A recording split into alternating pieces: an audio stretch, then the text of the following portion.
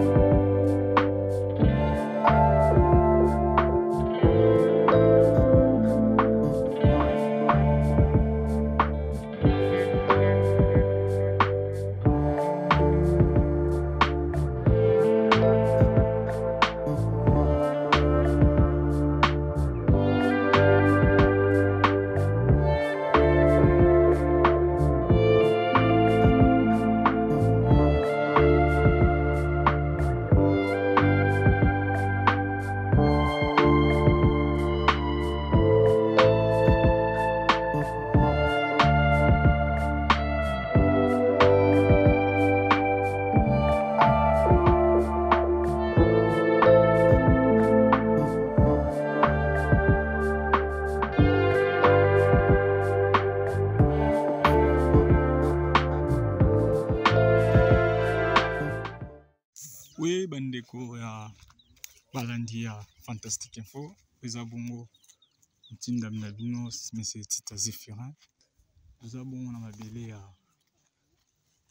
ya ya kinsala de epai wapi tokendaki précisement na na, na, na ferme ya ya papa Mustapha epuis na komi ya nsele quartier dingilingi mpe oyo totambolaki bongo na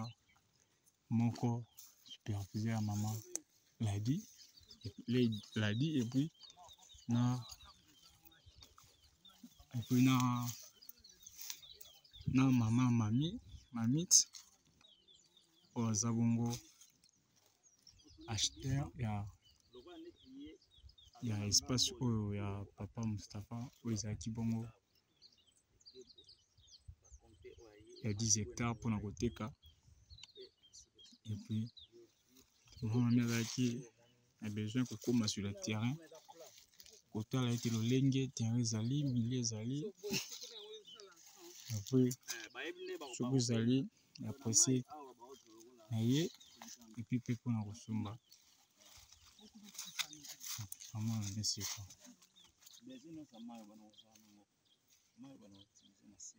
mais kokende boye te na liboso kuna eza nango bien soki toke omona awa mai ebale tyola oyo toleki kuna ya monene yango ebandi euti kuna likolo source eza soko ta bateke so kuna likolo ya mosika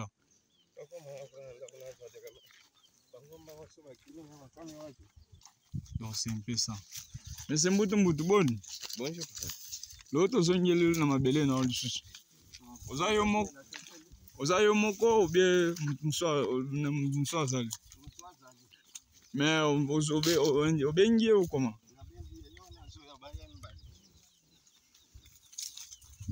boni bangombe na ba bon en fait bangombe kaka oyo oh, monene akendaki donc aza vandi ate nzela liboso ah,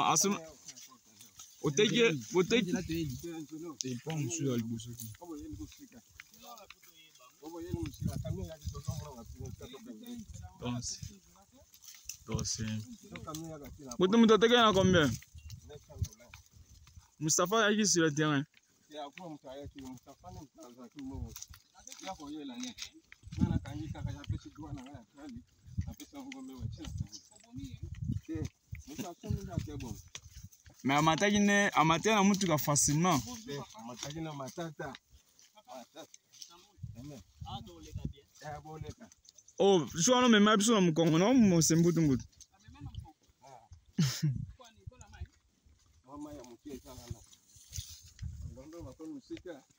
boyo otika bango oyo bufe ndeni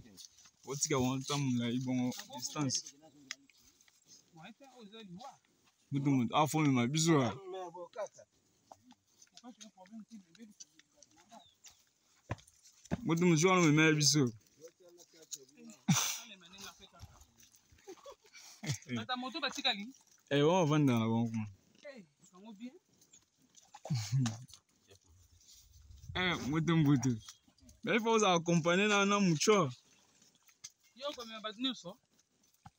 oyo lema okombata voilà mon petit mai mo eza awa yango wana papa mbutu mbutu nde alukaka etela biso donc c'est un peu ça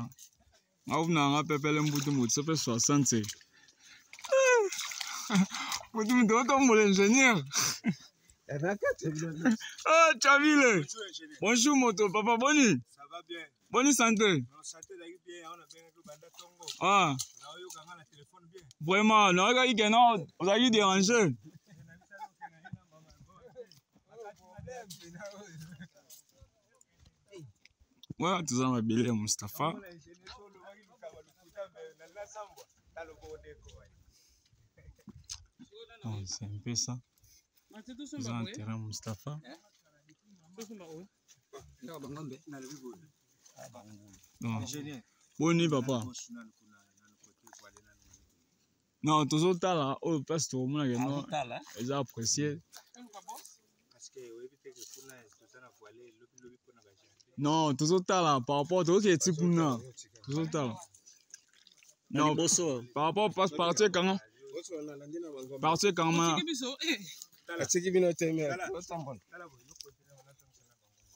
Donc voilà.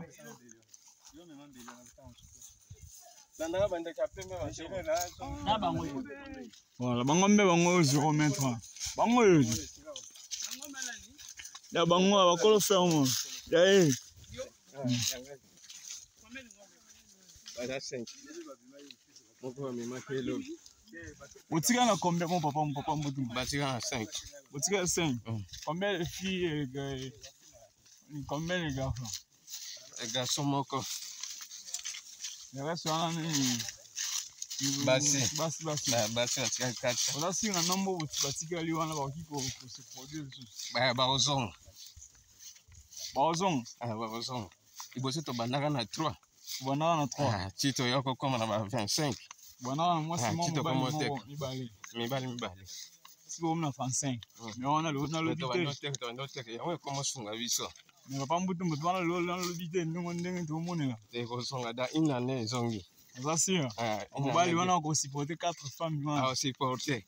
Ah, bona omona te mobali moko na basi misato ah. mais par rapport ya eteke ndenge etekami tanke oza bouvier oza molesi na ye epi mobateli na ye namona aseke ya poche ezalaki ya kovimba oh, poche ezalaki kare hmm. moto asalaka ye wana aliaka oyo olukaka ye wana azwaka mais aseki ngai lelo nayebike ngai lelo mfona bima na mwana quelque chose oyo namoni makolo ya pine oyaki ntina motuka jipe yaki awa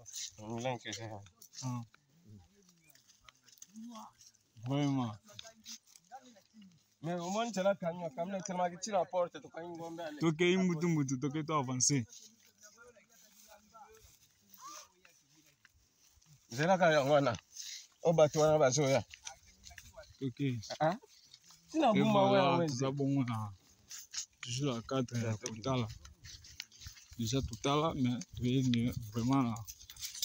na, na moment ya kolakisa nde oyo abengami propriété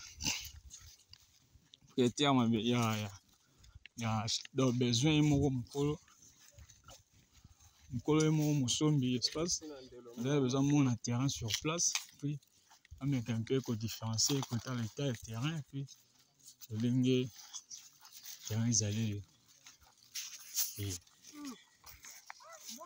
kaka nini toyebisaka bino fantastique info elobaka ya bosolo en fait oh. ya kobombesa te verité polele polele bilili nde yango moto ezoloba na place na biso kua toza bongo toujours kaka na cadre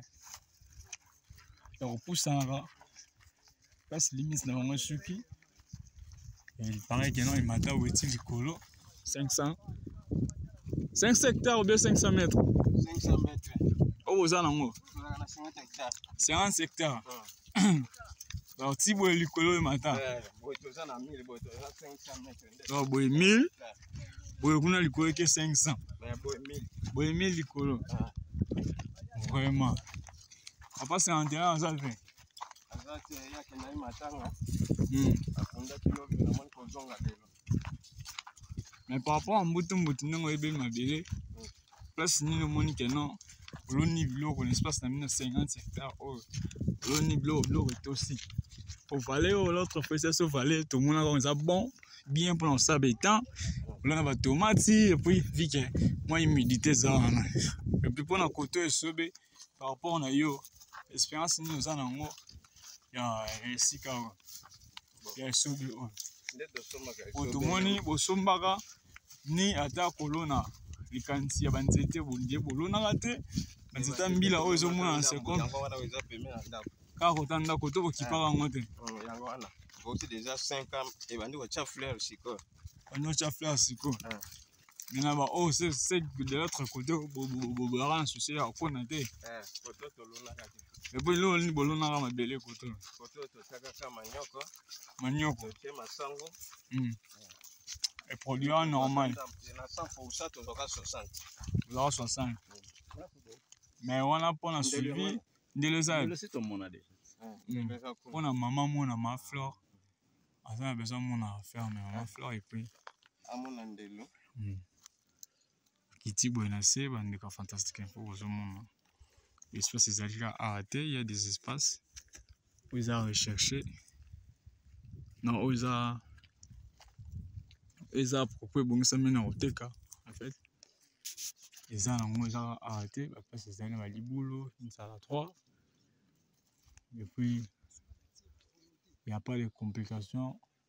ekomema na bobangi mpona kozwa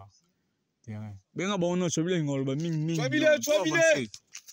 cwabile nasalaka bakokolesa bangulu basoso lesaka bangombe mazipa nasalaka ya mami ah, ah. bon awa awa mpe tokolona biloko bien awa tracteur patron atia esala tolona masango ya wita poto na nini butire manioko agronome azali abimaki ye moto ayaki na kamio abimaki na ngombe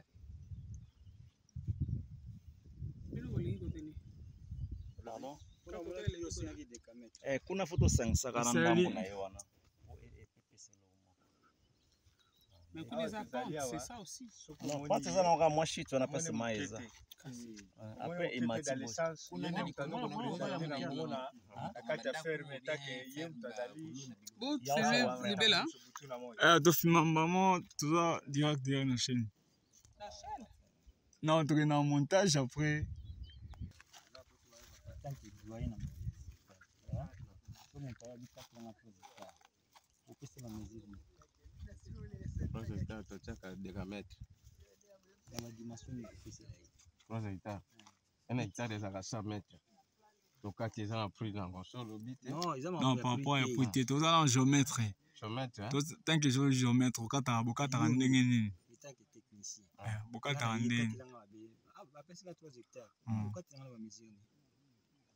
Wana cha singa. Singa toboyi te. Namoni kaka dekamete. Papa eza examen na poser. Hmm. Namoni kaka dekamete. Oui, po isanga ke non. Ah papa, toi secteur na yo epesi autant de mètres. Po tango na koya pe na mutu musala ko remesurer hmm. ezala lolenge yo. Oyebisaki ngai. Ezala te ke yesu ayebi te bakosaki yo. Hmm. Soki yo oyebisa ngai, okopesa ngai na ba mesure nini? Po tozoba kaka 3 hectares.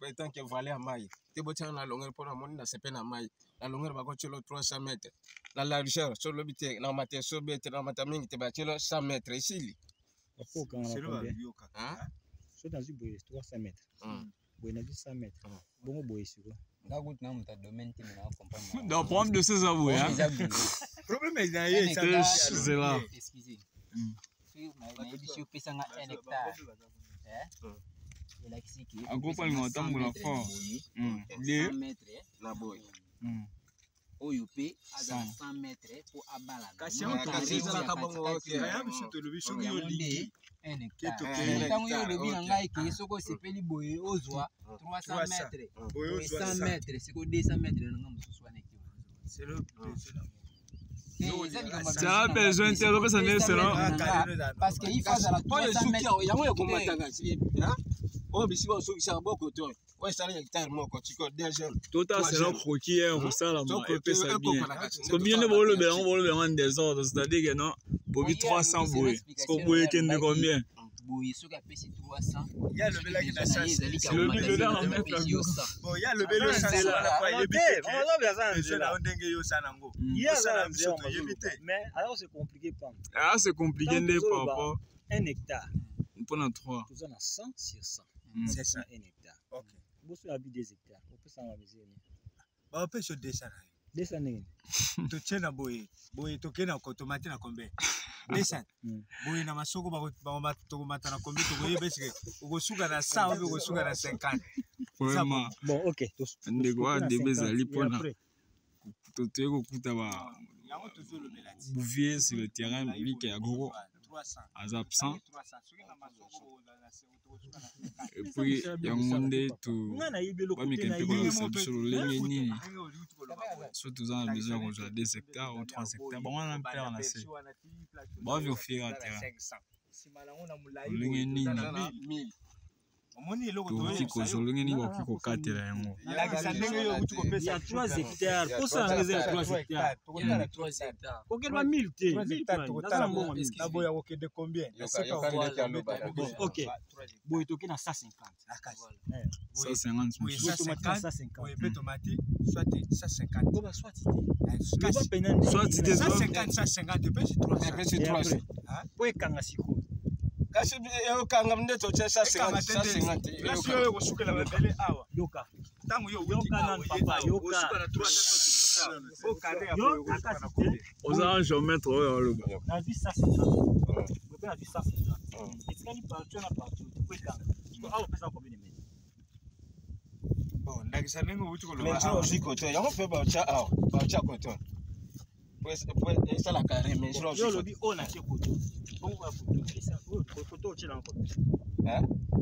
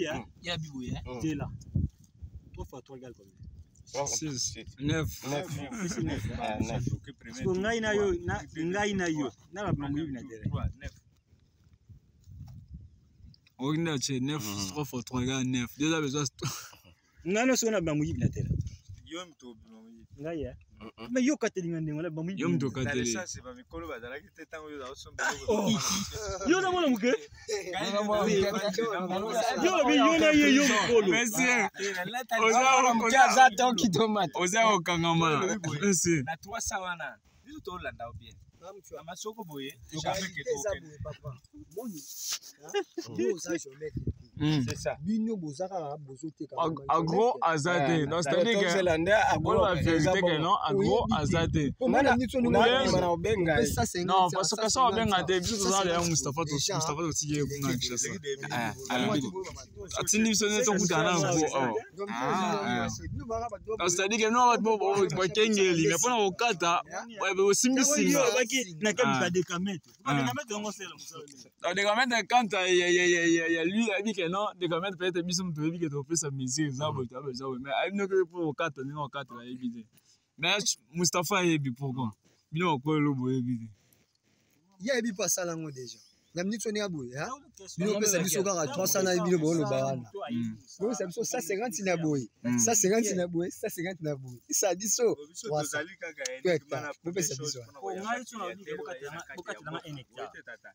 comprendre ntango nalobi ke awa botyela ngai 122 mètre voilà bandeko ya fantastique info toza toujours na cadre ya, ya couverfie terrain oyo wapi tokitaki na, na, na ferme ya mustapha mama mami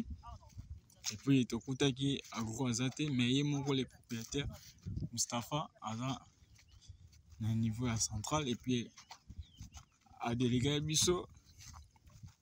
ke tozala accompagné na agronome kuta agronome sur le terrain et toye sur le terrain tokuti agro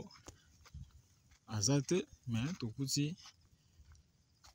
oyo batika comme responsable lisusu bouvier mpona kotala na bangombe epui kosokipe na makambo etali ferme yango wana par rapport ya mesure bango baeza vraiment na professionnalisme te baza bapranti en fait toloba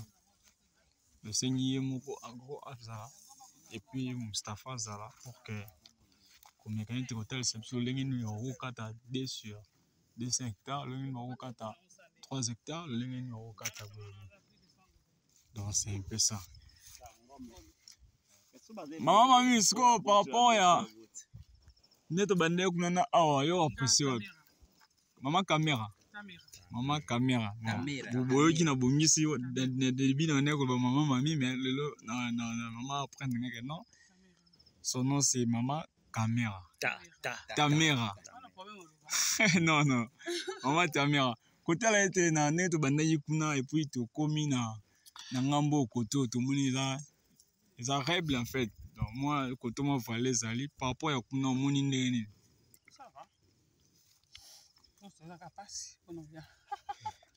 mpasi mpona oya nzela ou bien nzela bon mpona nzela dossier eza nko projet eza deya na kokomama na bandeko ya bachef de terre epuis na basombi comme bino ndenge bozokota na mabele de ces encore mpona kokende kozika na niveau ya, ya, ya ovd mpona oyo etali makambo ya nzela mais eza sur certain makambo esalama tous les deux ponts eza déjà arrangé d'ici oh, oh, bon nayebi tous les deux ponts en fait ah, wana eza individu asali mais normalement l'état il faut a- asala non wana eza yango baprojet ezokota tokotisa dossier puis pokea koyeba kosala mpo wana toipare ke non mwana mwasi moto asalaki mpo Maman wana Flore, oui. ingénieur ya mwasi donc mama flore peut-être aza Asololi aza ingénieur ya mwasi. asololi eh, ye aza patron de alors asololi na ingénieur mpe ingénieur ya mwasi ne ipare nde moto asalaki yango epuis na se nango otala bien otali pont babambu support eza te support babambu bango batiaki yango te donc support babambu nde moto esoutenir pont wana alors so mbula ebeti wana mai ya nyonso mai oyo nyonso omoni oyo enovarie donc pont emonana lisusu te oyo koto toza yango problème kaka ya tole fo bafinika tole epuis oyo ya liboso koto pont eza fo bafinikaka tole mpo na distance kotala oyo na oyo oyo ezalaka distance epe mpo na zelu mpe lisusu oyo eza makasi par rapport ya nzela toyeli sable wana bachauffeur nini bakoyeba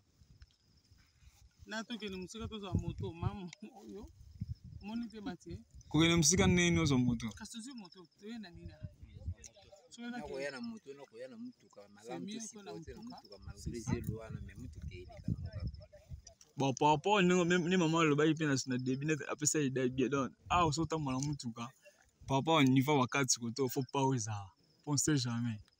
carrément obligatoire otambola na pao mpo bomona moto awa edo na pao koto eza mpasi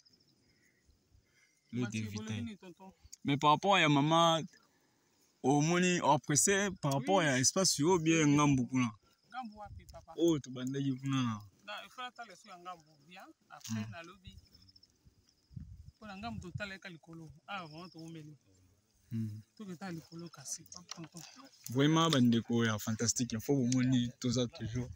na cadre ya ko kovisite ya découverte dans ya fantastique ya, ya mabele ya ferme kinsala ya bamama mustapha eh, mama mami epuis na petit frère mustapha epuis toza na espace kolandisama ete na etandi oyo mama amoni apprécie tellement parti oyo oyo eza nseki na, na, na kikongo mpe na, na, na lingala tobengi yango esobe eza vide non construit ata kolona ata nzete moko eza te e ameka mpe susu korevoir kotala ete ngambo kuna tobandaki kotala lolenge susu ezali vike kuna ye amonaki mwa kokoso ya, ya, ya pants bon alingi ete akende amona yango lisusu pour la deuxième tour mpe ameka mpe ko kochoisir donc c'est un peu ça pour continuer toujours kosabonner et partager balien ya bandeko mosusu oyo baza na besoin ya baespace bakozala jamais toujours desi kaka nde tosala bino tele maloba eleka misala na ebele te e voilà tosi émission à suivre moto wana batondi ah. oya mobali bayi mobali moko atikali wana aza kuna na kati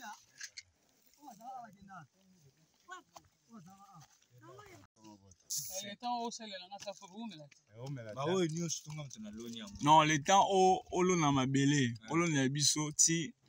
eh, ekoma ba niveau oyo moninga na komi 5 kaka neti bachel plante ekoli deja neti eza na lopango kuna wana kokenda kopikola wana mabele nango boklasse hmm. ah, ah, na bakazi ya mpo na clôture ya lopango limite ya ndelu na yo ocomprendre ke non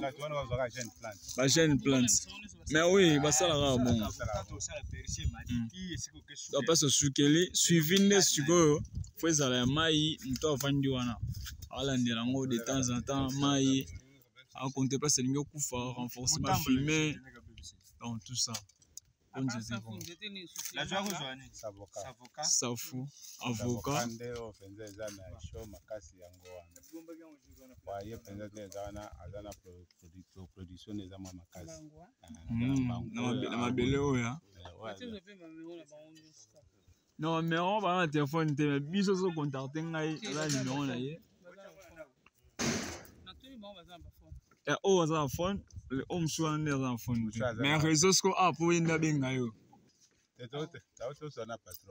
sikokozwa biso tomataka mwa likolo wana wi deja nayaki boboyi nayaki boboyi oteka yango biso me nayaki naza na besoin moto moto atunaki nga motu naza na besoin so mbongo vanda na bangulu awa tala awa beti vanda na bangulu ple de 800 bongi bakenda wana ah, bolizo patro amemanisa bona nakoteka ah, amebutuka na mikili ya putu papa sikoyo 800 quelque ngulu wa ah. eloko nini esali pour que lelo antuka esala mpe makambo ya kitoko na kati ya famille ya kolo ya kolo esika oyo esungaki bango makasi mpe basomba mpe baferme mosusu meme ane mese mbutu moto otikala olalaka ipare na ndako wana suka wana olaka na sécurité te obie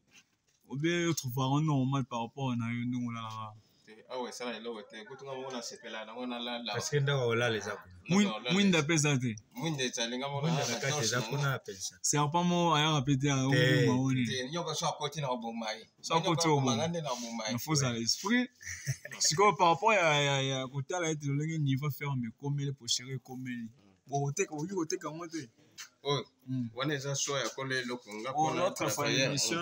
mission liboso tosalaki bato batunaki nga mpona koteka yango boza boza en fait boza na boza na nzela ya koteka yango biso te wana makambo nyonso epa patro kolelo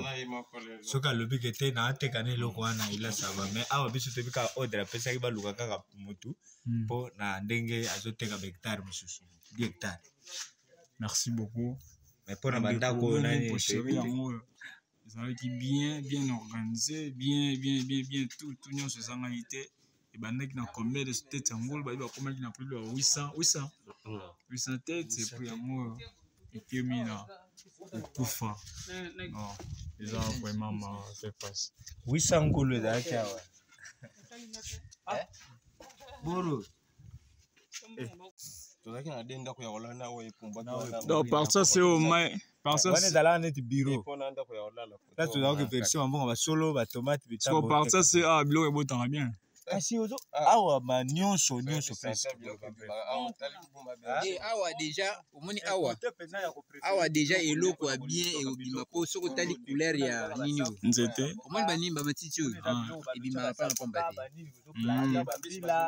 Papa Esperance nde ebeni. Babenga yango susi. Biso benga ba susi. sokati yango ekauki eye bopelisa moto moko mpe en plus nino pa moto apesi ofimi yango meme ezaka boye so opelisi moto omoni kao eza Etumbama. epelaka fort donc koto mpe ebongisami mpo na betin kitoko makasi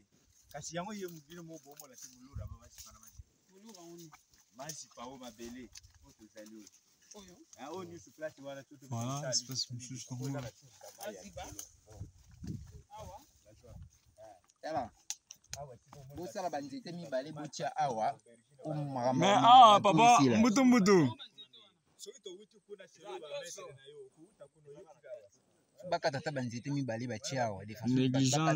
negligence nde bato bazalaka nango koto bolembu moko bakata banzete te bazwi babriki wana babrika ye wana batie wana ata misato batie mbutu mbutu mpo na bino oyo sempesa bandeko bozolanda kontinite mpo tokoyoka mama soki aprese mabele na suka yango mpa etandi wapi oyo asepele na moi awa mwa nzambe ezali ezabe bien mpona kokontinue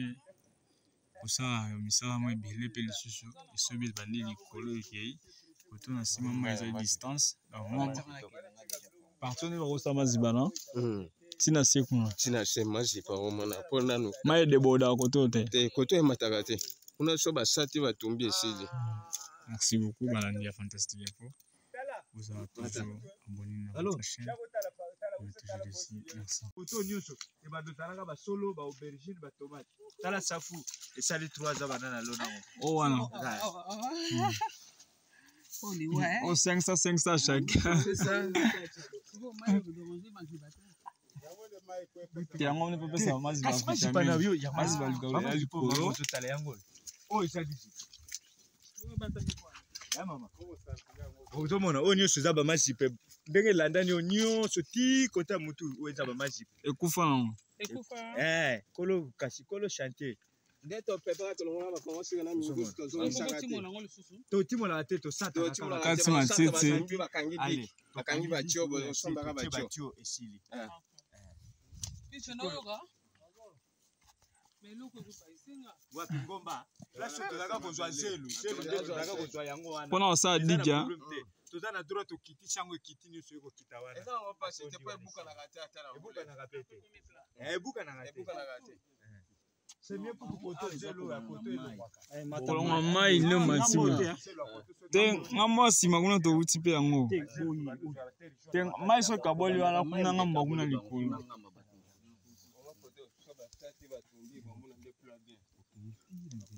Eh, boyebi ke banzete bakataka nyonso te mpo totika na mwa nzete mpe alobaki tokobokol te oyo oyo eza bamingomangoma mais bo ntango tokosala bamazipa oso olobi ke basala bamazipa basala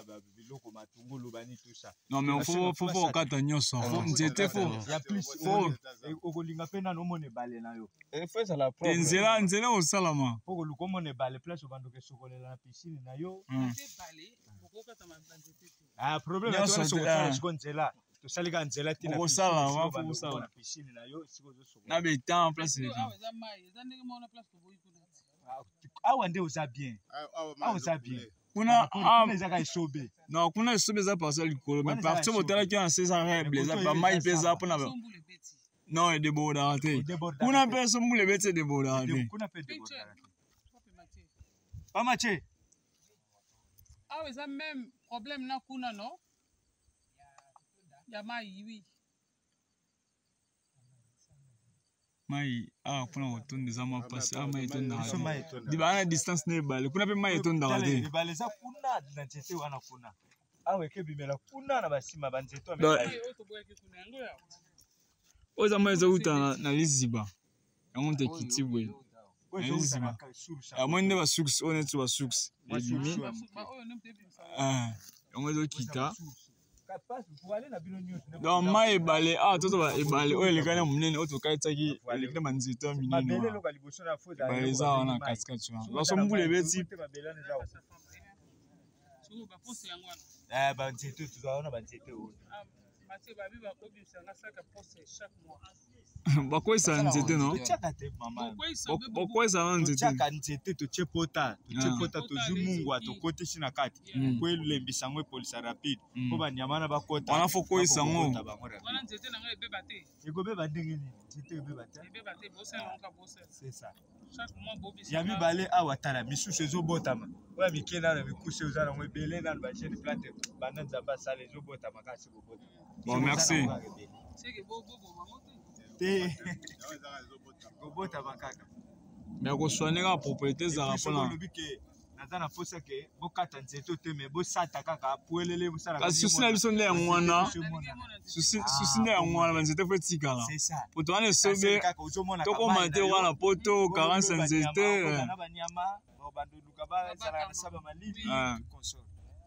meme yo motu mpe oyo atyama kiti na sa nzete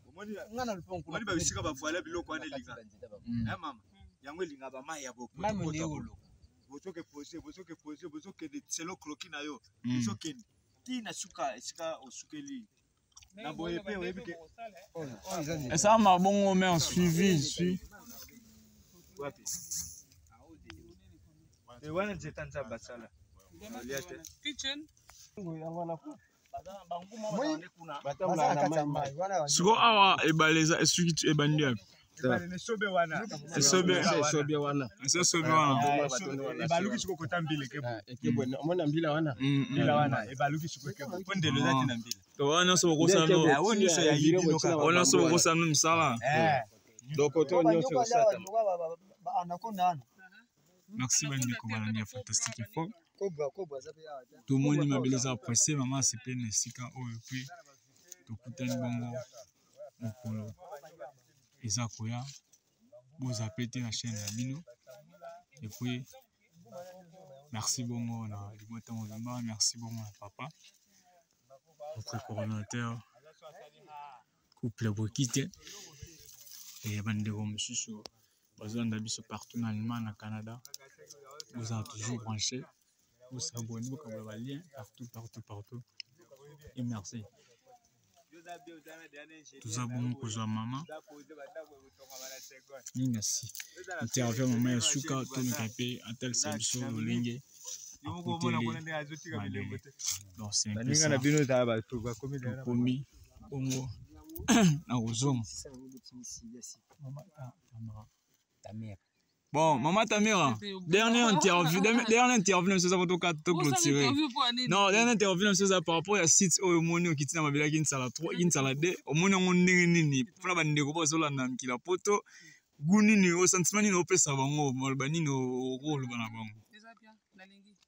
omoni mabele kitoko olingi bongo conseil nini na baoyo baza na badoute sima bainquiétude ya kokoma na mabele ya kinsala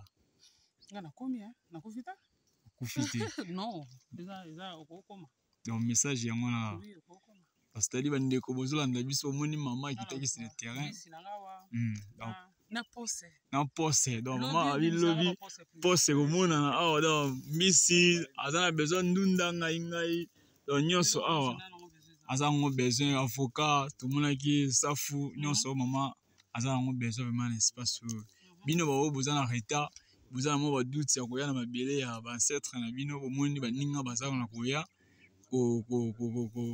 kotika mwa bilembo ntango eza mabele ya bakoko bokontinue boya bolongola inquiétude bolongola badoute toza wana mpo na bino mpo na koyamba oh, bino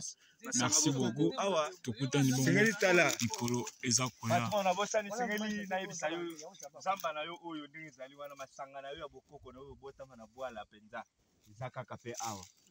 masanga oyo na yo mpenza toza na masanga mayanda mayanda biloko lobi oyo bazwila bapose hmm. mayanda mpo biso toza bayaka basuku kasongolonda ah. bayala mpenza mpe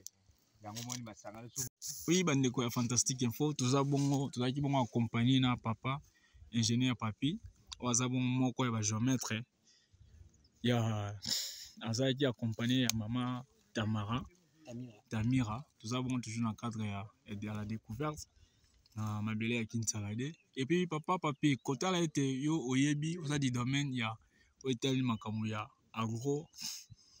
c'est-à-dire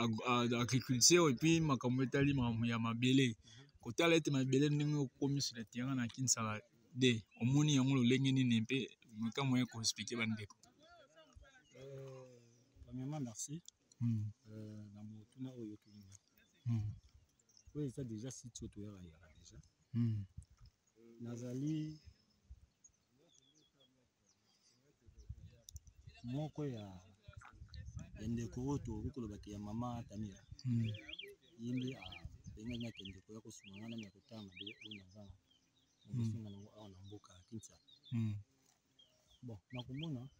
vraiment leo nasepeli parce que eza site moko conflit mpenza eza te mm.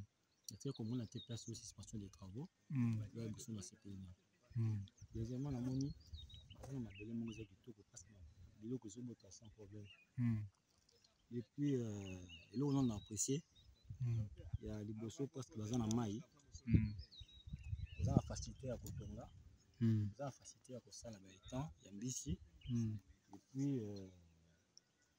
terrain eza mpenza compliqué te do nakoloba nanga liboso te so motuna mosusu okozala bon motuna mosusu ezali par rapport olobi terrain eza compliqué te